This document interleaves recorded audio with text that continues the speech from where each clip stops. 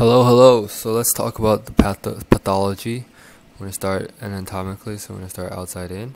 So the vulva is the all the female external genitalia distal to the hymen and is lined by squamous epithelial lining.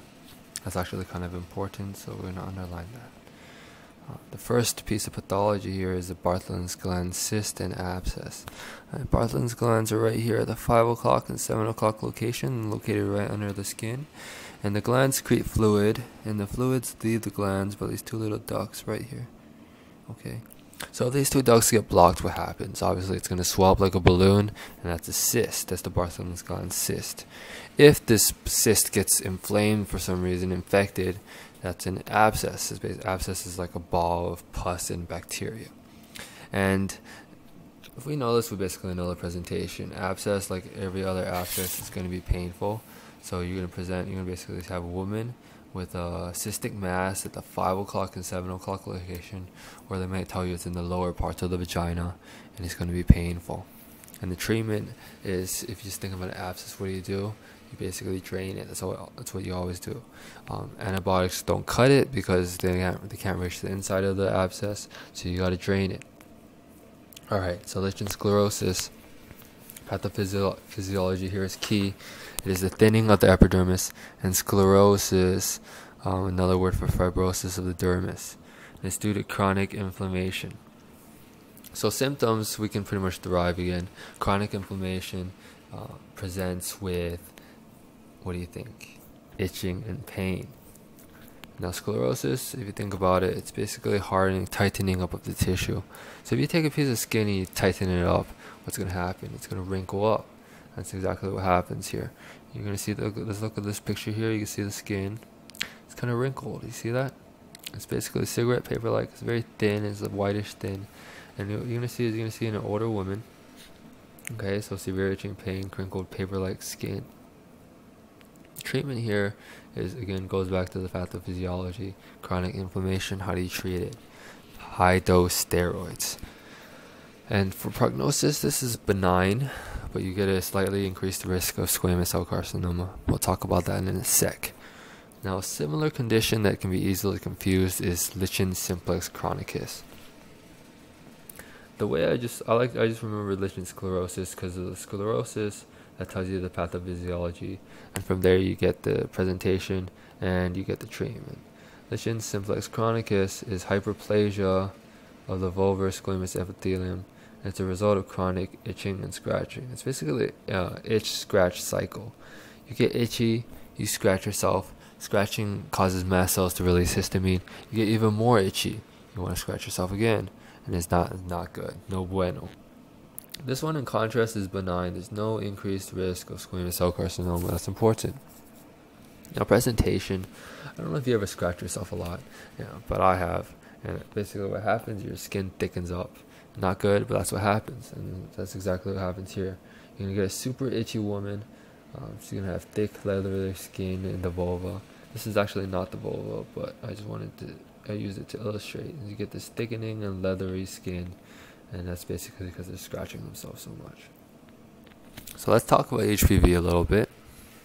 Uh, this is a little bit more background than anything for um, cancers of the vulva, va- vagina, and cervix. So it's sexually transmitted. It's a DNA virus, and it likes the squamous epithelium of the external genitalia and anal region. Uh, so that can actually be male or female. So it can be vulva, vagina, penis, anus. There's a bunch of different types of HPV 4, 6, and the ones we're going to talk about 6 and 11, and 16 and 18. 6 and 11, lower numbers have low risk of cancer, low risk cancer, and they mainly cause genital warts. Okay. 16 and 18, they're higher numbers. They have high risk of cancer. The way they do that is they make two proteins. They make E6 and E7 E6 happens to block P53. E7 blocks RB. Remember, these two are su super important tumor suppressor genes. These are the, the guardian of the cell cycle, and this guardian number two of the cell cycle. It's kind of hard to remember. You kind of have to remember which one does which. I like to remember E6 and P53 because I just for some reason I remember that E6 and P53 do not add up to 60, so they go together. E7 then blocks the other one, which is RB. So these these infections cause inflammation. They eventually can lead to dysplasia and then eventually lead to cancer. And all infected cells infected by HPV, it doesn't matter which number, it doesn't matter if it's 6, 11, high risk, low risk, they show koilocytic change. What is koilocytic change? It's basically what you see in this picture. You're going to see this clearing of the cytoplasm, big white areas, and you're going to see a shrinking up of the nucleus. And you can look up closely, it kind of looks like raisins. I don't really have a high def pic for, pic for you, unfortunately, so you're going to have to use your imagination a little bit. You get little, little raisin nuclei. That's koilocytic change. And risk factors for HPV are all sex related. So you can just use your common sense here. You don't have to memorize anything. It's just basically patients who have many sex partners, who have sex uh, early, uh, early age. That's risk factors for HPV.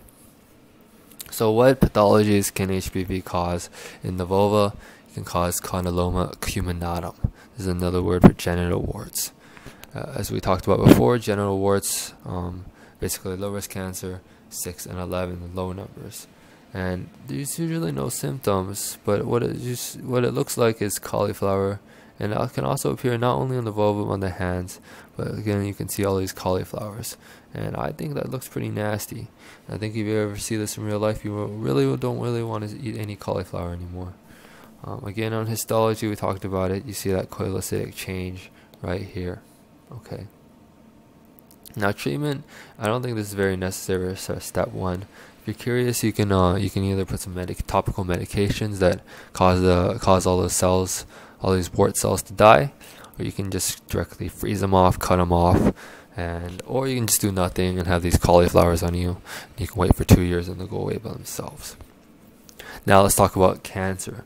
We're going to talk about talk about squamous cell carcinoma specifically. And because they're so similar in the vulva, vagina, and cervix, we're going to talk them all together. We're going to do some compare and contrast. So these all have the same pathophysiology, and that's HPV. That's why we talked about it. It's so important. HPV. Remember we talked about it. High risk strains, 16, 18, P- E6, E7, E E6. Do you remember what that what that blocks? It blocks P53. Let's see. E7, what does that block? Blocks RB. Okay, and cells affected by HPV, they're going to show koilocytic change. The other things they're going to show on histology is um, nuclear atypia and increased mitotic activity. This is like the same for every cancer, so you don't have to remember that. Just remember coelocytic change, and eventually that's going to lead to squamous cell carcinoma. Now, risk factors, uh, basically, obviously, if any risk factor for HPV is a risk factor for any of these cancers because that's the main pathophysiology. So again, early sex, multiple sex partners, and then additional risk factors for these cancers are smoking and immunosuppression. Smoking obviously is basically for every cancer. Immunosuppression is basically because your immune system can't fight off the HPV. You have HPV longer, you have more opportunity for dysplasia, um, and then eventually cancer. Now, what? How does this present? I think if you know enough about cancers, you can just pretty much guess it. It presents like all cancers with bleeding. You can also get itching, you can get pain. And then if you're talking about vaginal and cervical cancers, you can see some discharge. Uh, if you're talking about vulvar cancers, you get leukoplakia, and that's this. Basically, all these arrows showing this whitish color change in the vulva, maybe a little bit of thinning. That's leukoplakia. Now, for step one purposes, I think of vag- vaginal and cervical cancers is basically the same entity. Uh, the way you differentiate them is where the mass is located. If you see a mass in the posterior vaginal wall near the cervix, but it's on the vaginal wall, it is a vaginal cancer. If you see it on the cervix, it's a cervical cancer. Uh, for cervical cancers, the way you diagnose it, uh, we're going to talk about screening a little bit, or a little bit earlier. So there's some pap smears that we're going to talk about. But if you're suspicious, you're going to do a colposcopy. Well, it's a fancy word for taking a big magnifying glass and looking at the cervix and looking for any uh, abnormal looking areas. And if you see that, you're going to biopsy it, which is the same thing you do for pretty much every cancer. You're going to biopsy it.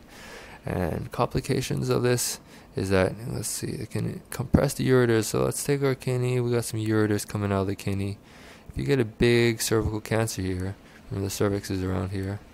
Uh, it's going to block up the ureter. You're going to get some dilation, and eventually your kidney will fail and you die. So, vulvar cancers. We just talked about vulvar squamous cell carcinoma. Let's talk about other vulvar cancers. There's a non HPV related etiology of vulvar squamous cell carcinoma, and that is long standing lichen sclerosis. If you remember lichen sclerosis, you see in older women, and uh, what happens is you get that chronic inflammation. Inflammation leads to dysplasia, you get cancer. Again, in contrast, HPV related squamous cell carcinoma seen in younger women, reproductive age. If it's an older woman with vulvar carcinoma, it's due to lichen sclerosis. For vaginal cancer, there's a couple other cancers. There's clear cell adenocarcinoma, um, and it is related to DES exposure to the patient's mother. And that is when the patient was in utero. That is, the mother was pregnant with this patient, and the mother was exposed to DES. And then this patient is born and grows up and then develops clear cell adenocarcinoma. Again, it's related to the exposure to the patient's mother. Okay. I just really want to emphasize that because I think I've forgotten it before. Sarcoma botryoides it's another vaginal cancer, and it's one we can kind of know by its name. The other thing to know about it is that it's a rhabdomyosarcoma. A rhabdomyo basically means uh, skeletal muscle, and so remember, if you remember sarcoma, it's a malignant cancer. So this is a malignant cancer of skeletal muscle, and you see it in young girls. So if you look at this word, botryoides, it's a weird word, and it's Greek for a bunch of grapes. Let's look at a bunch of grapes with a Greek dude, and this is sarcoma botryoides. It's basically the same thing, and that's how it's got its name, and that's how you remember it. So it presents with a bunch of grapes protruding out of the vagina. Now, finally, cervical adenocarcinoma is another type of cervical cancer and it accounts for 15% of cervical cancer cases, and it is also due to HPV infection. So, now we can talk about cervical cancer a little bit more, um, and we're going to start with uh, basically the pathophysiology of it. So, we're going to draw out our uterus right now. Okay, so this is the. Uh, this right here that I've drawn out is the cervix. Okay. Now there's a couple of zones here that you have to be really aware of. So, first zone is the ecto. see, first zone is the ectocervix. We're going to draw an orange here. This is the ectocervix. This is squamous.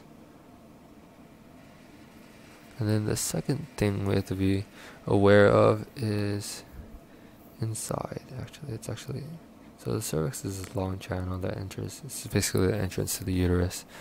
This is called the endocervix. Obviously ecto endo makes sense. This is columnar cells and then finally in between these two there's a region here called the transition zone and this for some reason is where HPV loves HPV loves the transition zone.